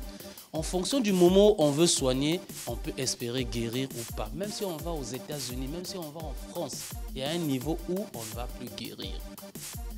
Donc nous, on aimerait bien que vous portez ce message qu'il y a aussi des avantages, beaucoup même. Quels sont ces avantages? Le fait d'opérer, ça permet de mieux ajuster les os qui sont cassés, les fragments là, pour bien. Parce qu'aujourd'hui, si je prends ça comme étant os, quand c'est droit, et que la personne peut marcher. Vous savez, si je marche sans boiter, ça veut dire que les os de mes deux membres inférieurs ont la même longueur. Mais si un os est cassé et que je ne peux pas ajuster pour que ça reprenne sa longueur d'avant, mais je vais commencer à boiter parce qu'à un moment ça va être court, l'autre long et ça commence à boiter. Donc la- le premier avantage, c'est ça. Ça permet de, de mieux ajuster les os. Il n'y a que la chirurgie qui nous permet de mieux, je dis bien mieux. Ce n'est pas que si on n'opère pas, on ne peut pas ajuster, non. Mais si on n'opère pas, on peut ajuster, mais si on opère, on va mieux ajuster. Non seulement on va mieux ajuster, mais on va mettre un montage de telle sorte que ça devienne très solide dès le premier jour. Dès qu'on sort le malade du bloc opératoire, les deux os, on les a bien fixés. Parce que c'est le fait que on arrive à mieux fixer qu'on aura l'autre avantage que très souvent les travailleurs, les élèves tirent profit. Mais je voulais d'abord dire, et aussitôt aussi si on a mieux fixé, on pourra aussi avoir la deuxième, le deuxième avantage. Donc les autres avantages là dépendent du premier avantage. Si on n'a pas bien fixé, on ne peut pas directement envoyer le malade aller faire les mouvements, les massages. Non. Parce que si ça bouge encore, si on fait les massages, il aura mal, il ne pourra pas. Donc, deuxième avantage, c'est que ça permet de commencer très vite les massages. Parce que les massages vont avoir quel avantage? Le muscle, le membre, la main le pied ne, vont pas maigrir. On dit bien que quand un membre ne travaille pas, quand ça bouge plus, ça maigrit. Or, le fait qu'on a opéré, on a fixé, aussitôt on a envoyé pour commencer avec les massages, ça va faire que le volume des muscles, si c'est la cuisse, ça va garder son volume. Si c'est au niveau du bras, ça va garder son volume. Parce que si ça garde le volume, ça garde aussi la force. À la fin, la personne, quand elle est guérie, elle devient comme si elle ne s'était jamais cassée. Ça permet aussi d'éviter que les articulations soient un peu comme bloquées, enrayées. Et on a vu ça aussi, des cas de tradition où à la fin, le genou ne bouge plus, le genou devient bloqué, ou le coude, dès que ça bouge, ça s'arrête, parce qu'on n'a pas fait très vite les massages, mais parce qu'on n'a pas opéré. Et en dernier, comme avantage, mais on récupère très vite. On peut repartir au travail. Peut-être pas forcément en marchant, mais surtout si on a opéré en haut. Moi, pour, témoignage, j'ai opéré un malade. Euh, par exemple, aujourd'hui, je l'ai opéré parce qu'il avait une fracture au niveau de l'os du bras, qu'on appelle humérus, mais retenez simplement l'os d'ici. On a mis un matériel qui est similaire à ça, qu'on appelle la plaque vissée, avec des vis. Comme ça, on a fixé et c'est solide. On a attendu que la plaie guérisse en deux semaines. La troisième semaine, il a repris le travail. Alors que si on lui avait mis le plâtre, il devait être comme ça, il n'ira pas au travail. Ça attire l'attention de tout le monde. Or là, il va, il porte sa veste, bien il va, il a même commencé à conduire. La seule chose que je lui ai dit, ne soulève pas quelque chose qui pèse pour ne pas que les vis là se cassent vite. Mais sinon, il a repris le travail. Donc c'est cet avantage-là. Récupération rapide au travail. Et dans la vie de tous les jours. Si c'était un élève, il repart à l'école. Donc, opérer, il y a aussi ses avantages. Donc c'est quand le médecin a dit, ce cas-là, il faut opérer, c'est qu'il a compris qu'il n'y a que l'opération qui peut donner un bon résultat. S'il sait que même si on n'opère pas, il y aura un bon résultat, il ne va pas choisir l'opération. Pourquoi? Mais dans nos réalités, on sait qu'il y a aussi les inconvénients. On n'opère que si c'est nécessaire pour éviter d'opérer n'importe quoi et tomber sur des inconvénients. Le premier inconvénient que le malade voit, que nous, nous ne voyons pas encore, mais ce que le malade voit, c'est ça. ça nécessite beaucoup de ressources, l'argent. L'argent, le coût. Lui, il voit que combien ça va coûter le coût. Pourquoi? Mais parce que il faut acheter le fer. Il faut payer les médicaments. On doit entrer au bloc opératoire. Il faut payer les frais du bloc. Tout ça, ça fait que c'est un inconvénient. Ça coûte cher. Le traitement, quand on opère pas, ça coûte moins cher. Surtout quand on va voir M. Nganga Philippe, c'est très moins cher encore. Mais opérer a des inconvénients. L'autre inconvénient que le malade a aussi peur, c'est l'anesthésie. Dès qu'on dit on va mettre l'anesthésie, ah docteur, non, non, moi je ne veux pas l'anesthésie. Mais on ne peut pas déchirer le corps de quelqu'un et le laisser avoir des douleurs, en train de crier. Mais cet inconvénient aujourd'hui ne fait plus peur. Pourquoi? Parce qu'il y a des études qui ont été faites pour minimiser le risque des complications. C'est pour cette raison que le docteur qui fera l'anesthésie va d'abord vous consulter, voir, vous demander est-ce que vous avez des problèmes de santé? Est-ce que donc il faut rassurer les malades, les populations à la maison que si on vous parle d'opération, même si on dit anesthésie, n'ayez pas peur. Les gens ne meurent presque, presque plus à cause de l'anesthésie. J'ai bien dit presque plus sauf si son état n'était pas déjà bien. Donc, ça ne doit plus avoir des soucis. Mais nous, à notre niveau, on a parfois peur qu'il y ait une infection. Pourquoi? Mais parce qu'on on, provoque une plaie. Si le malade ne respecte pas les consignes de l'hygiène, la propriété à la maison, il peut provoquer une infection. Si le personnel de santé n'utilise pas le matériel adéquat, ça peut entraîner une infection. Mais ça aussi, on a fait des efforts grâce aux médicaments qu'on appelle des antibiotiques, grâce aux instruments stériles. Là, on vous montre ça comme ça, vous touchez, mais en réalité, avant de mettre ça dans le corps de quelqu'un, on doit stériliser ça d'abord. Grâce aux compresses qui sont toujours stériles, on porte des gants stériles. Donc ça fait que bien que c'est un inconvénient, mais c'est minime. Ce qui fait que nous ne voyons plus que des avantages parce que très souvent, les traitements des fractures, chez l'adulte souvent, il faut opérer et c'est comme ça que ça marche. Voilà un peu ce que je voulais dire. Le message que vous devez retenir, c'est que opérer pour soigner une fracture, c'est aussi bien. C'est même très bien, surtout quand c'est le docteur qui a dit, parce qu'il n'y a que opérer donnera le bon résultat. Je n'ai pas dit que n'est pas opéré, on n'aura pas un résultat, mais ça peut être mauvais. Euh, en temps normal, ces matériels-là ont été étudiés pour rester dans le corps de quelqu'un, même de façon indéfinie. Je dis bien, même de façon indéfinie.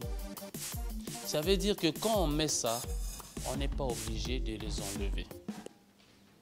On n'est pas obligé de les enlever ça ne donne pas le cancer. On n'a pas démontré que ça, ça va provoquer le cancer. Mais comme on dit dans le, le risque zéro n'existe pas, ça constitue un corps étranger. Son rôle, c'est de garder les os toujours côte à côte jusqu'à ce que ça se soude. Le processus de la guérison, on nous a dit tout à l'heure, c'est notre organisme. C'est comme ça que ça a été conçu. Quand un os se casse, ça se soude. Mais pourquoi on opère C'est pour remettre les fragments d'os dans la bonne position en attendant que ça se soude. Une fois que c'est soudé, il faut en fait enlever. Mais on enlève à quel moment? Quand on pense que l'os, une fois soudé, a repris sa forme d'avant. Parce que pendant un moment, quand nous allons marcher, quand on va faire des mouvements, s'il y a des chocs au niveau de la zone où il y avait la fracture, le matériel protège que l'os se casse encore. Voilà pourquoi le docteur a parlé de 3 ans. Certains disent de 2 ans, mais on est tous dans la, même fourchette. Parce que c'est le délai, on dit, on peut enlever. L'os a repris déjà sa forme. Mais il y a des cas où on ne doit pas enlever. Parce qu'à l'enlever peut encore entraîner des problèmes plus graves que mettre en ce moment, on laisse.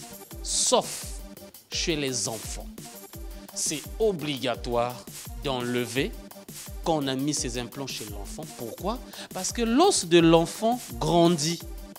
Si on n'enlève pas, le matériel va rester même caché dans l'os, puisque l'os va grandir, va même cacher le matériel, et le jour où il y a un problème, on ne pourra plus enlever. C'est pour cette raison qu'on enlève.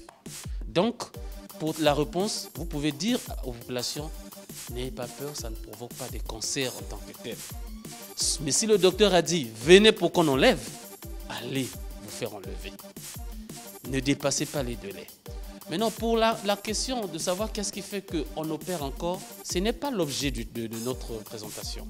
Mais il faut savoir, comme tout traitement, il peut y avoir ce qu'on appelle des complications. C'est quand il y a une complication et que pour soigner la complication, il faut encore opérer, là on va vous dire on doit vous opérer. Vous avez compris? Mais s'il n'y a pas de complications, on n'opère que lorsqu'on veut enlever le matériel parce que la personne est guérie. Bien, je remets la parole au modérateur. Je pense que j'ai terminé.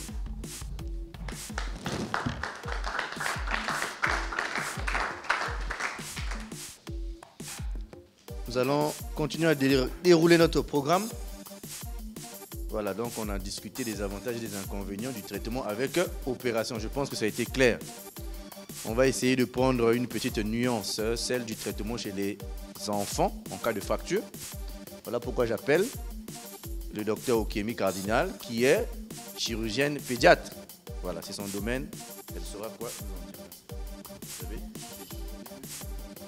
Merci beaucoup. Bonjour à tous. Et vraiment, merci de nous accueillir dans cette salle. Merci de disposer de votre temps. Parce que des fois, c'est le samedi. On a envie de profiter du week-end. Et on voit votre implication et votre désir de, voir, pouvoir vraiment, on va dire, d'être utile encore un peu plus. Donc, je suis le docteur Okemi, je suis chirurgienne pédiatrique. On a beaucoup parlé de fractures, de cassures d'os. Donc là, on va prendre le volet qui concerne les enfants.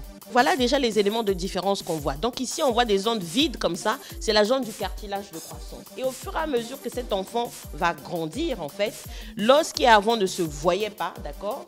On va, dire ça littéralement comme ça. C'est comme s'il va apparaître. Pourquoi? Parce qu'il va devenir un os dur. Nous, on dit qu'il se corticalise simplement. Il va devenir comme un os d'un adulte. Et quand on voit bien comme ça, d'accord, ça permet de mieux distinguer quand il y a une fracture, alors que chez l'enfant, on verra pas grand-chose. Et donc, si on essayait, on va dire, en dehors de la radio, d'ouvrir peut-être cet enfant à la chirurgie, on verrait des, morceaux comme ça, d'accord? On dirait des petites boules comme ça qui sont autour, mais qui sont va avoir des conséquences graves. Donc, on va passer rapidement ensemble pour voir ce qu'on peut avoir euh, en termes de complications, c'est ce qu'on appelle des complications d'abord vasculaires. Pourquoi? C'est que si j'ai cassé ici, là, mon avant-bras, il y a une artère qui est lésée, il y a un nerf qui est comprimé, qui est pincé, là tout de suite, même si mon os est guérit, ma main ne va pas récupérer parce que mon nerf, il a été atteint ou encore euh, que j'ai eu une lésion au niveau d'une de mes artères. L'autre élément qu'il faut retenir, c'est surtout cette euh, consonance-là, c'est vraiment très très important, c'est ce qu'on appelle le syndrome des loges. On a dit ici tout à l'heure que s'il y avait une plaie, par exemple, il y a quelqu'un qui a une fracture, il y a une plaie, on va mettre un bandage ou on peut mettre un garrot. Alors si on met le garrot ou bien on utilise comme des petites branches qui nous ont été montrées pour contenir, qu'on serre trop fort, on peut faire ce qu'on appelle un syndrome de loge. C'est-à-dire ça emprisonne à l'intérieur les vaisseaux donc le sang ne circule pas correctement, les muscles vont gonfler à l'intérieur et donc là c'est la catastrophe, ça peut conduire à l'amputation. Donc quelqu'un qui avait une simple fracture, vous êtes venu aider, vous passez, ah non, il y a une plaie et tout. Voilà, on fait le bandage rapidement, on va prendre deux règles, deux morceaux de bois, on attache, on a serré, c'est bon, aller à l'hôpital. Si c'est serré trop fort, eh bien, ça donne un syndrome de loge. Cet enfant peut arriver à l'hôpital, on va l'amputer, alors que vous avez voulu bien faire. Donc il faut faire attention vraiment dans ce qu'on fait comme, euh, comme attitude. Donc, ce qu'il faut savoir, c'est que ici, je voulais surtout attirer notre attention. Et même quand il y a un plâtre, on nous l'a dit ici, il faut rappeler à la personne est-ce que tu vas à l'hôpital? Est-ce que tu fais les contrôles? Et il y a quand même des, éléments que vous, vous pouvez connaître quand quelqu'un a un plâtre, de lui poser des questions pour savoir si là, c'est dangereux ou pas. Quels sont ces éléments? La première chose, il faut demander à la personne qui a le plâtre. Est-ce qu'elle arrive à bouger les doigts? Si c'est un plâtre qui arrive jusque-là, est-ce qu'elle arrive à bouger les doigts? Est-ce qu'elle arrive, elle a la sensation? C'est-à-dire que quand tu la touches, est-ce que tu sens que je suis en train de te toucher? Est-ce que le plâtre n'est pas douloureux? Et surtout, chez les enfants, c'est encore plus terrible. Il ne faut pas marcher sur un plâtre. On n'a pas mis un plâtre pour qu'on marche avec. Ça n'a pas été mis pour ça. Donc il faut empêcher les personnes ou les rappeler, voilà, surtout vous qui êtes des relais. Parce que des fois, il y a ce que le médecin dit. Ils arrivent, ils disent non, le médecin, il interdit toujours tout. Nous, on peut essayer. D'ailleurs, je n'ai plus mal, je peux essayer de poser mon pied. Non, il ne faut pas essayer. Donc, il ne faut pas mettre des objets à l'intérieur parce que oui, il fait très chaud actuellement. Et si on vous met un plâtre, vous allez encore plus avoir les sensations de chaleur. Et parfois, ça gratte à l'intérieur. La chose à ne pas faire, vous prenez le peigne. Ça, des fois, c'est les mamans qui aiment faire ça. Elles mettent le peigne à l'intérieur et grattent. Non, mais c'est parce que je sentais que ça me grattait un peu. Il faut vraiment pas faire ça. Pourquoi? Parce que c'est le plâtre, il va augmenter la chaleur autour. Quand vous allez gratter juste un peu, vous allez arracher la peau et ça peut creuser à l'intérieur. Il faut vraiment pas faire ça. Quitte à mettre la main dans le ventilateur ou je ne sais où, mais vraiment, il ne faut pas mettre des trucs à l'intérieur. Et nous, chez les enfants, c'est encore plus terrible parce qu'ils mettent les bouchons, ils mettent les bics, ils mettent le sable à l'intérieur. Donc, il faut vraiment dire, on ne fait pas ça.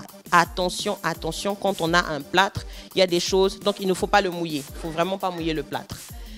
Et donc, si jamais la personne dit, oui, on m'a mis mon plâtre, ça fait une semaine, deux semaines, mais j'ai toujours très mal, ce n'est pas normal.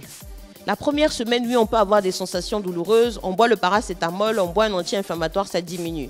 Mais on a mis le plâtre, la personne continue à avoir mal. Chaque jour, j'ai mal, chaque jour, j'ai mal. Il faut repartir à l'hôpital. C'est qu'il y a quelque chose sous le plâtre. D'accord? Et si je n'arrive plus à bouger mes doigts, je n'arrive plus à bouger mes, orteils, on repart à l'hôpital tout de suite. Même si on avait dit le rendez-vous dans un mois, vous repartez tout de suite et encouragez la personne à repartir consultation donc en urgence. Donc voici ici, je, nous montre des images donc de complications de ces fractures. C'était donc une fracture ouverte, l'os est, est- est- est- à nu. Et voilà donc ce que ça donne. C'est un os qui aura du mal après à guérir correctement. Au lieu qu'on ait les délais, on a dit de 60 jours comme on a montré totalement, ça peut aller bien au-delà. La personne va revenir, oui, moi m'a dit quand on me met le plat, deux mois après on enlève ou qu'on n'enlève pas, mais il y a eu une infection, d'accord? Il y a eu une infection ici, la fracture était ouverte, donc ça n'a pas bien guéri. Et donc ça, c'est les autres cas extrêmes quand c'est... Voilà, nous on a le phénomène de bébé noir, maintenant il y a plein de gens qui viennent couper par des machettes. C'est vraiment très difficile actuellement. Et donc, il peut avoir des infections, voilà. À la radio, je ne sais pas si on voit bien, vous voyez que l'os est en train de complètement disparaître ici, là. Il se forme des choses un peu bizarres. C'est ce qu'on appelle des séquestres et autres et tout, des lésions, on va dire, de, de. C'est l'os qui est en train de disparaître. Au lieu de bien guérir, ça commence à créer autre chose. Donc, c'est vraiment des complications assez graves. Et donc, c'est de ça dont on parlait. Le traitement traditionnel des fractures. La tradition, ce n'est pas mauvais. Moi, je suis de celles qui disent la tradition n'est pas mauvaise. Il y a de bonnes choses dans la tradition. Mais il faut savoir ce qu'on fait et savoir mesurer. Parce que quelqu'un va vous dire, on a toujours fait ça. Nous, on traitait traditionnellement les fractures. D'ailleurs, toi, tu as grandi. On t'a soigné traditionnellement. Tu n'as pas grandi. Maintenant, aujourd'hui, pourquoi tu veux nous interdire? Non. Je ne vous interdis pas. Sachez simplement que la tradition, ça marche quand on sait ce qu'on fait et pourquoi on le fait. Donc, si on met ici, c'est une fracture de jambe. Déjà, c'est la jambe qui est cassée, d'accord? Maintenant, il faut quand même bloquer la cheville, il faut bloquer le genou. Mais si on bloque comme ça, on met des bois, on serre fort, à part le faire mal, lui faire perdre sa jambe, je ne vois pas ce qu'on est en train de créer. Donc, c'est ça qu'il faut expliquer. Le traitement traditionnel, c'est pas mauvais, mais il faut savoir l'os en bas, il est comment? Et quand je serre comme ça, est-ce que lui, après, il arrive à bouger ses doigts ou bouger ses orteils? Et ça, c'est vraiment quelque chose de catastrophique. C'est un enfant qui a été massé, massé. On a fait des attelles comme ça et tout. On a serré pendant longtemps. Il dit, ça fait mal, on enlève. Non, on n'enlève pas. Et le jour où on a enlevé, voilà comment l'enfant s'est retrouvé. Donc euh, la tradition, c'est pas mauvais, mais il faut savoir jusqu'où il faut aller. Donc il y a des complications comme ça très graves. Et cet enfant a fini par être amputé. Voilà. Et donc, d'autres éléments, je vais peut-être nous montrer ça ici. Bon, je vais montrer ça là. Voilà. C'est des déformations, on va dire. Donc, on a une fracture ici au niveau du coude. Ça a été soigné. Et après, on est à deux mois, trois mois. On commence à se rendre compte quand on demande à la personne, mais il y en a un qui part sur le côté. Je ne sais pas si on arrive à voir ici, là. Il y a une déformation. C'est ce qu'on appelle les déversions d'axe. Et ça, chez les enfants, parfois, on voit beaucoup. Pourquoi? C'est le cartilage de croissance. Il va pousser, pousser l'os à grandir. Et si ça n'a pas été immobilisé, donc on n'a pas bloqué la fracture dans la bonne position, au lieu qu'il grandisse dans la bonne direction, il commence à aller dans d'autres sens, à l'intérieur ou à l'extérieur. Donc ça, c'est vraiment très important. Alors, on va retenir, pour terminer, les complications des fractures, ça peut aller de quelque chose qui peut être banal à quelque chose de très grave poussé à l'amputation. Donc ce qu'il faut savoir, c'est que toutes les fractures doivent être traitées, on immobilise. Il faut surveiller, Il faut dire aux patients, repars à l'hôpital, va voir un médecin. Tu fais la tradition, ce n'est pas mauvais, mais va faire la radio. Comme ça, au moins, on va voir comment ton os sont bas. Pour vérifier que hein, tous les bondages, là, ça tient. C'est pas mal. Il faut parfois encourager les gens comme ça. Fais quand même une radio, comme ça, on vérifie que ton os, déjà, à l'intérieur, il n'est pas malade, comme on a vu là, d'accord? Et aussi, en cas de toute complication ou surtout il faut éviter d'arriver à des complications, il faut venir voir un médecin spécialiste. Voilà, merci. Euh,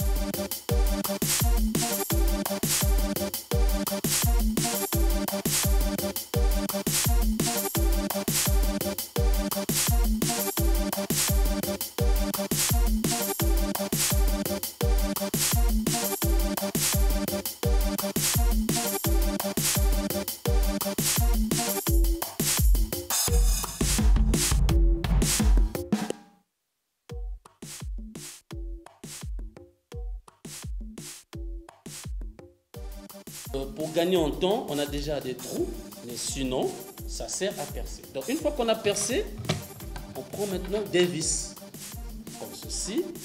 J'ai déjà un premier trou ici que j'ai percé.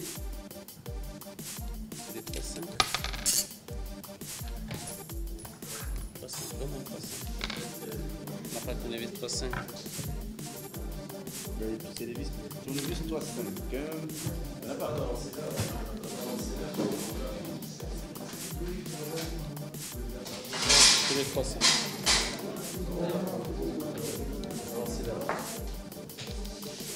Voilà. Donc, je prends et je. Va pas. Voilà, donc vous voyez bien la vis. La vis suit Le trajet méchage. qu'on a fait tout à l'heure. Euh,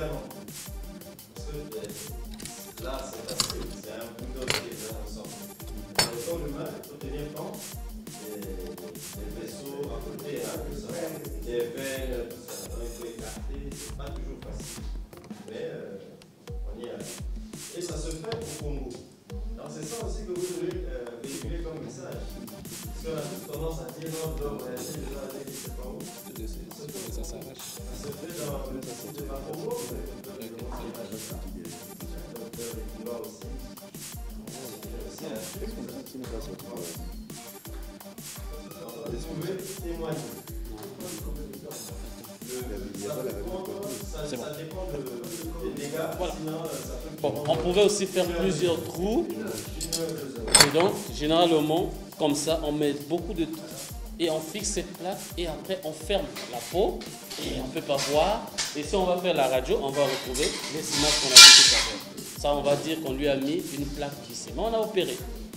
Et cette opération a l'avantage, c'est que on a bien aligné l'os, on a fixé l'os solide et rapidement le malade peut commencer à faire ses mouvements. Ça, c'est un type d'ostosynthèse qu'on a vu dans les images. L'au- L'autre cas, et quand on arrive, on va enlever le matériel, qu'est-ce qu'on fait?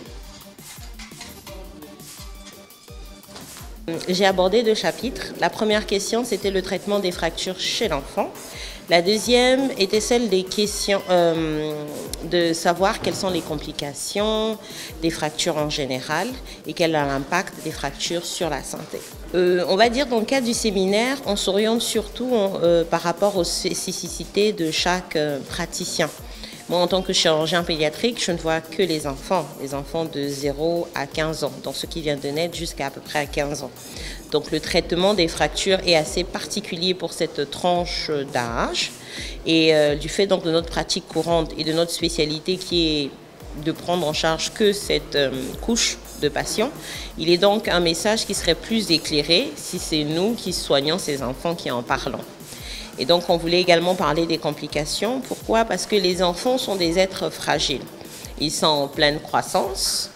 Et euh, il y a des choses, on va dire, ou des complications, si elles ne sont pas détectées ou prises correctement en charge, ça va compromettre la qualité de leur vie. Donc les adultes qu'ils seront auront parfois des handicaps, des déformations, alors que euh, si ça avait été pris en charge correctement, et d'où donc cette bonne sensibilisation.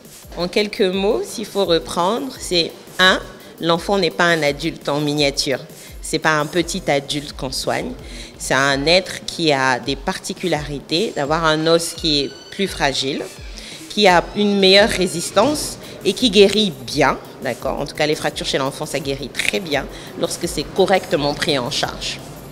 Ça, c'est le premier élément. Le deuxième élément dans les complications, handicap chez l'enfant, euh, ça peut être difficile parce qu'un enfant, il va grandir. Donc quelque chose qui peut être, on va dire, déformant maintenant sera beaucoup plus grave quand il aura 20 ans, 30 ans, 40 ans. Ce sera plus difficile à supporter. Donc euh, c'était vraiment de retenir ça. C'est que eux qui voient les enfants qui passent, euh, on va dire, dans les communautés, qu'ils sachent détecter.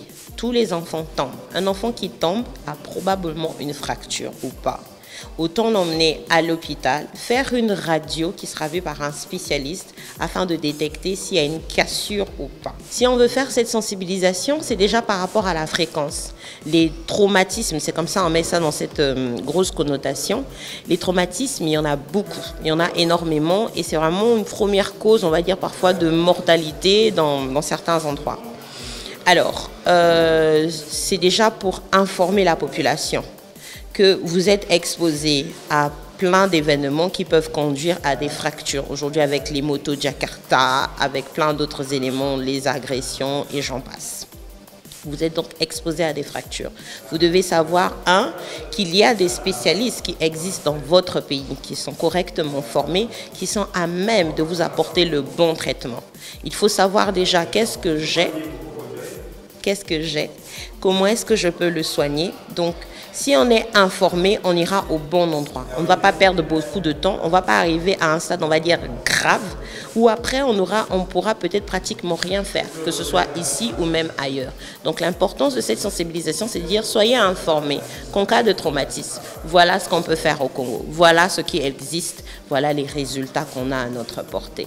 Je dis merci énormément pour cette association et pour cette formation qui nous a offerte. J'aimerais que cette formation puisse encore continuer à être enseignée dans d'autres départements. Il est très important lorsque il y a un accident ou il y a fracture d'une personne, il faut aller immédiatement d'abord à l'hôpital, sensibiliser les experts, ceux qui, ceux qui ont fait des études dans ce domaine de fracture.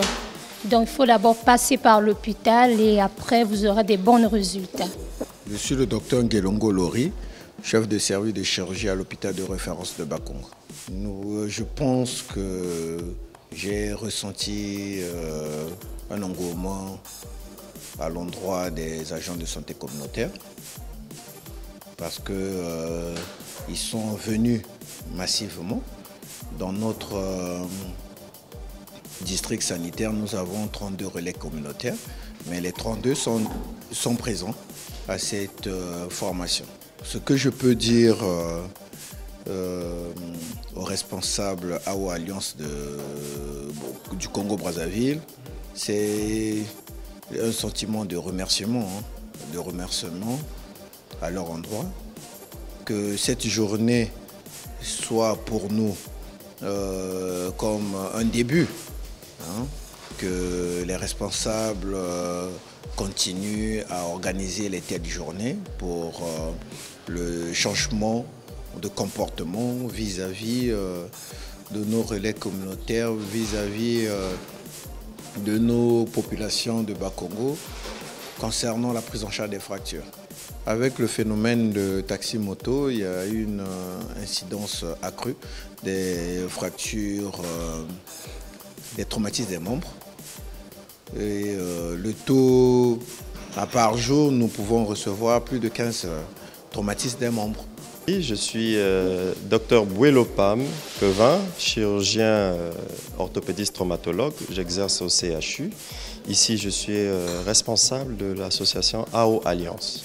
Concernant le séminaire AO euh, consacrée aux agents de santé communautaire. Nous sommes à notre deuxième édition. Donc l'année passée, nous avons fait le même séminaire dans le district sanitaire de Talangai, qui avait été choisi pour sa population, pour sa, sa, localisation. Donc cette année, euh, c'est Bakongo, exactement aussi pour les problèmes, les questions de santé. Vous savez que les accidents, les agressions sont en augmentation.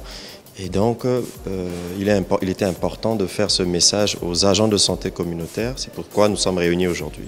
Le bilan pour nous, il est positif, c'est-à-dire qu'on a eu à former 30 agents de santé communautaire. Cette année, nous sommes passés à 32.